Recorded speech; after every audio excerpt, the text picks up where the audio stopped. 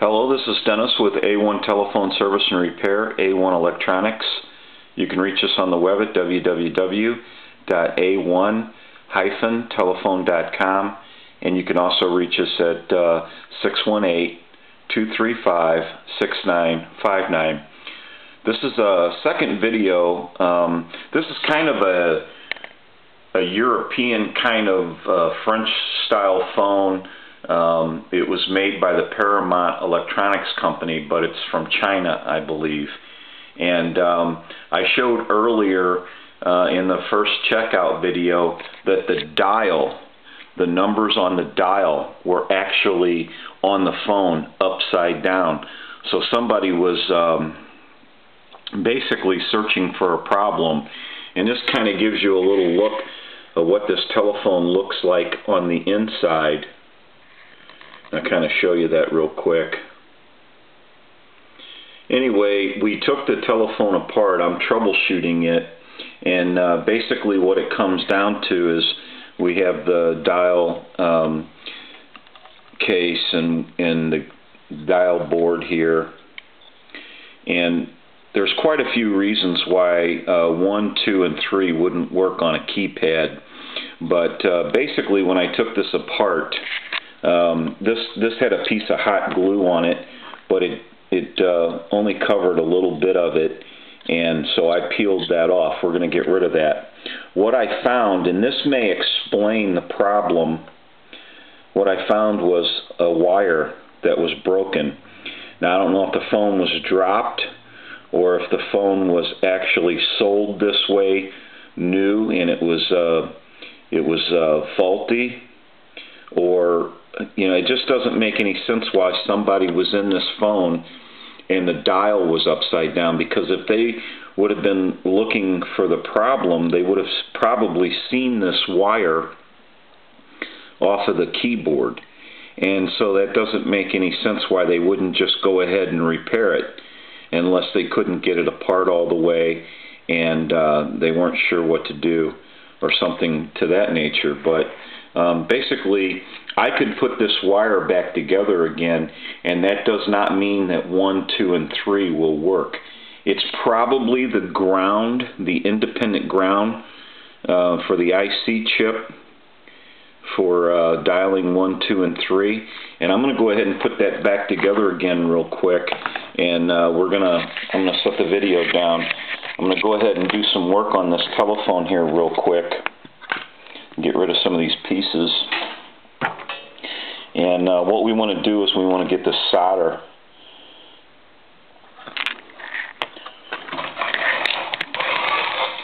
off this board here.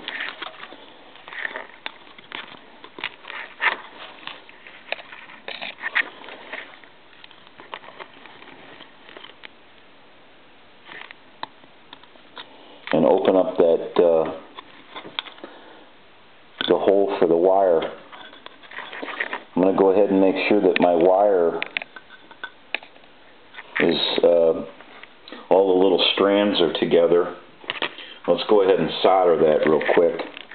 I like to solder them so they don't, they don't get away from you.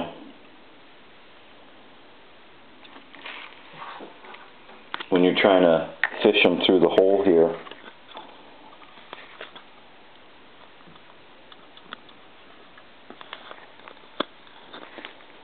These wires are very, very thin. So that could explain why that broke. It could have been, the phone could have been dropped, but you would think that if they got into the phone and they looked at the, um, at this board, they would have seen that wire loose.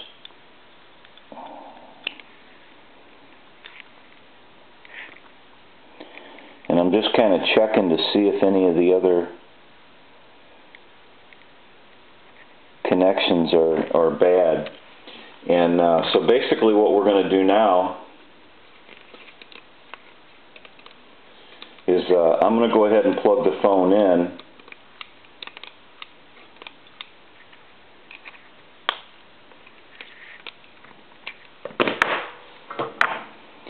And I'm going to see if we have one, two, Looks like uh, when we checked this originally out, uh, we thought there was just a redial, but uh, the, the center of this plate, this button, and some phones have this, the, like the top would be uh, flash and, and the bottom would be uh, redial.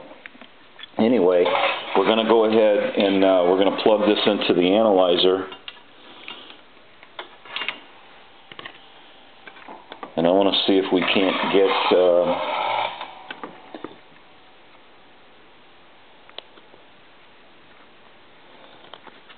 and that might be why I don't seem to be getting a connection here.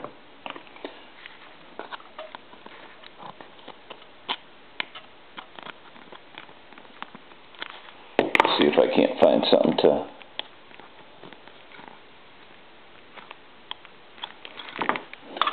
well it might help to plug I, I like to unplug the cords for the keypad from the main board when I'm working on them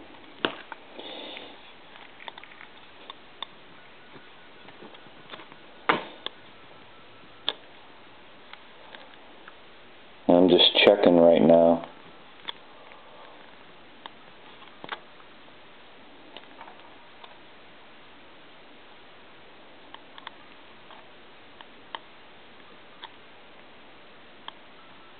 And it looks like, I know you probably can't see it on the on the video, but what I'm going to do here is I'm going to set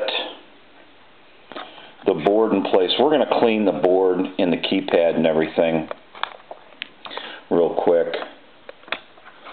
before we put all this back together again. But what I want to show you on the video is, real quick,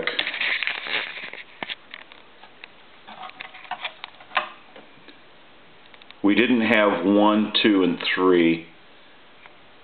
There you go. There's the one, two's hitting, three, four, five, six, seven, eight, nine, zero, pound, star, one, two, three, back to two. Um,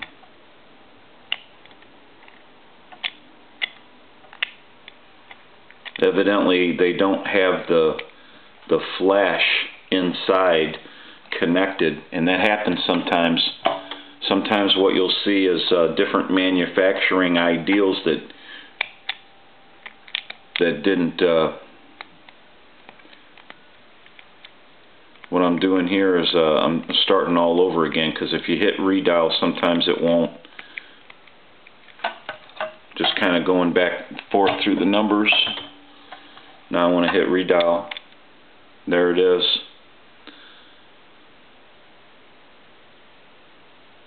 So the keypad is working now and uh, I'm confident that the telephone is repaired. But basically it doesn't make any sense because uh, anybody that would have taken this keypad apart would have noticed, probably, I would think that they would notice, this wire was off and um, broken from the board.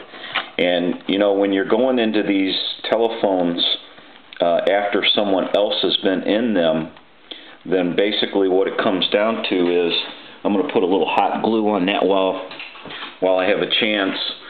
The problem with it is when you when you're going through this stuff after someone else has been in it, you you're not sure where the original problem uh, what the original problem was. So it's kind of difficult to uh, get an ideal. I like to make sure that these are nice and hot glued up so that that ribbon cable does not break away from that board again. And uh, finding the original problem sometimes is difficult because you, you don't have an ideal what the original problem was. And sometimes people will go into these uh, technicians, people, whoever, will go into these telephones and um, they'll do all kinds of different stuff to them and make the problems worse. And you just have no idea what, what they did because it would really be kind of uh, it, it, it just you know, if somebody took this keypad apart and they seen that wire broke, it, it's beyond me why they wouldn't just put the thing back on unless they couldn't solder or, um, you know, it's, it's just hard to say. Uh, but you would think that if they went into it that they would take the time to repair it. Maybe they couldn't get it apart because, uh, you know, sometimes things get in their way and they can't take it apart all the way or they couldn't get to it. Because at first when you have the shell here um, of the keypad on it, it looks like you can't get down in to get to the screws to put your board back on. Now what I'm going to do, I'm just going to call this the final checkout video of this telephone because basically what's going to happen is uh, I'm going to let this hot glue dry uh, but then I'm going to take the board off again and I'm going to clean the keypad and the dial pad but at this point um, everything looks good and I think that glue is held enough now to where I can do some more dialing.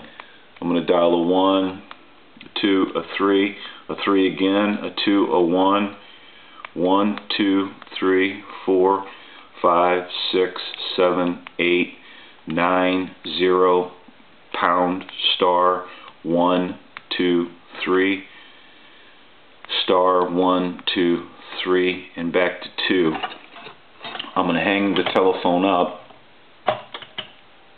bring back dial tone, and hit redial.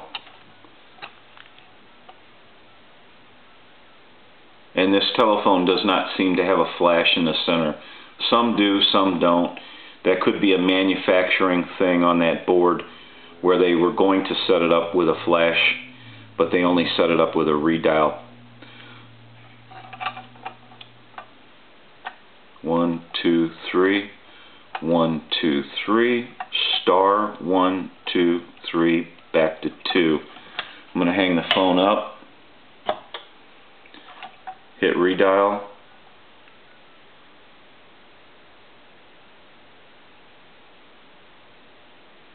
There you go.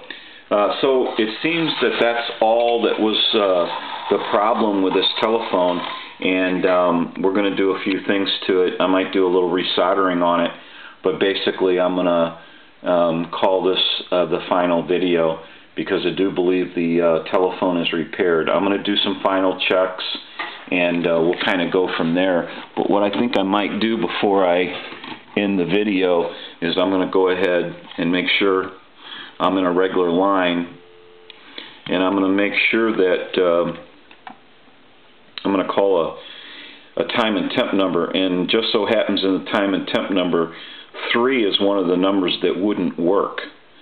Uh, 1, 2, and 3. So I'm going to use 3. So we know we're using the 3.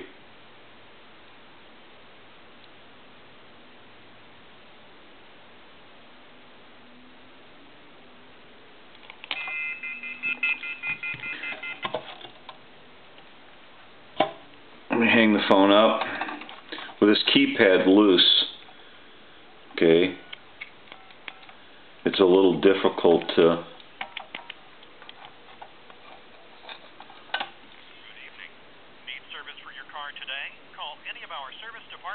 Now what I'm going to do is I'm going to do that one more time. Get my dial tone back. This keypad is loose. Nothing's together on it. And um,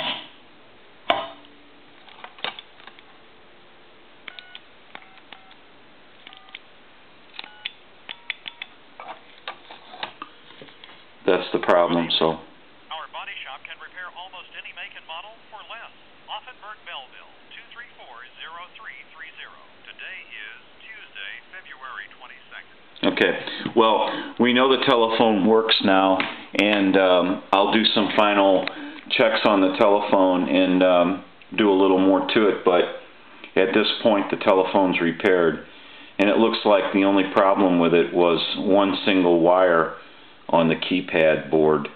Um, and it was probably what you would call the independent ground for the IC chip and uh, for the keypad for the 1, 2, and 3. This is Dennis with A1 Telephone Service and Repair, A1 Electronics, You can reach us on the web at www.a1-telephone.com and you can also reach us at 618-235-6959. Thank you for watching and have a great day.